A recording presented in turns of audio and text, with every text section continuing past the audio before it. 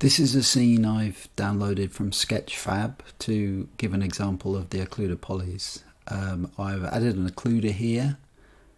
I'm setting it to a new occluder shape polygon and it creates a giant uh, purple polygon um, which I'm going to move into a position by uh, transforming the node as you would normally to get it into a rough position. I'm going to try and use it to cover these two buildings here with a kind of diagonal so it's a bit more complicated than it could be but uh, it works for this scene. So I'm tweaking the position here.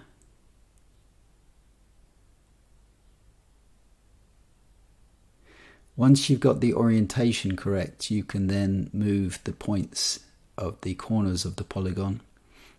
And as you can see as you move it the objects behind it are shown unhidden from view.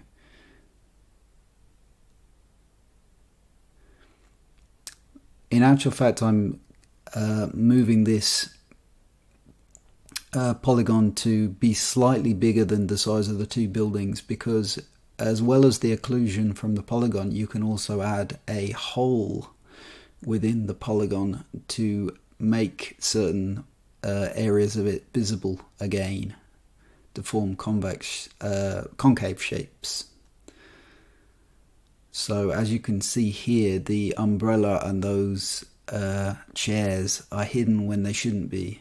Um, and we can cure this by looking into the occluder shape polygon data and creating a hole. We add some points. Four points is uh, enough to create a rectangle and we just drag them into position.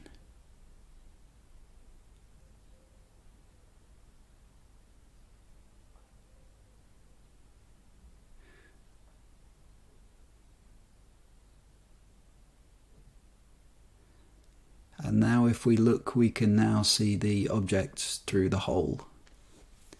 Uh, this makes the occluder polygons a lot more versatile because uh, in a lot of situations you want the polygon to be as large as possible to occlude as much as possible and having a hole um, gives you a lot of versatility to make concave shapes instead of convex being limited to just convex shapes.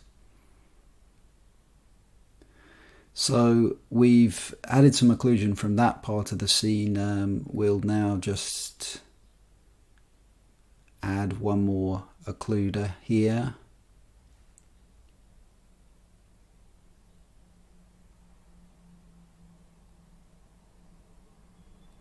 This occluder is going to be a bit simpler. I'm just going to rotate it to exactly be axis aligned and uh, put it covering both of these buildings but with a hole where those stairs are.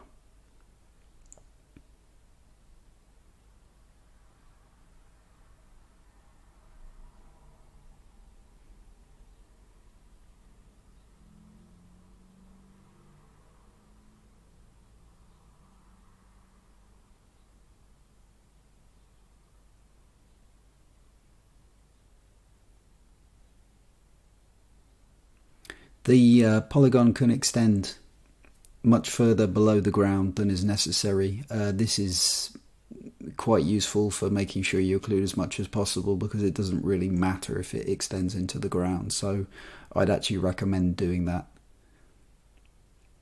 So now the uh, occluded polygon is hiding many of the chairs behind the church type building and uh, all that's left is to add another hole for the stairway.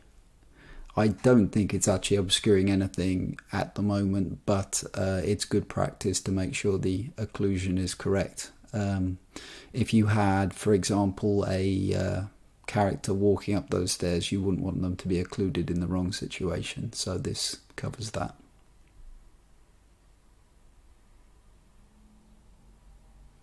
So this has given you a, a, just a short example to show the effect of just adding a couple of occluders.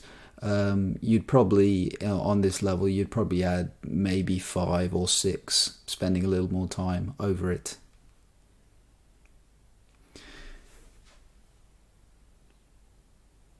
Also note that in some cases um, the occlusion may not work if objects have been joined um, together from quite a uh, different areas in space.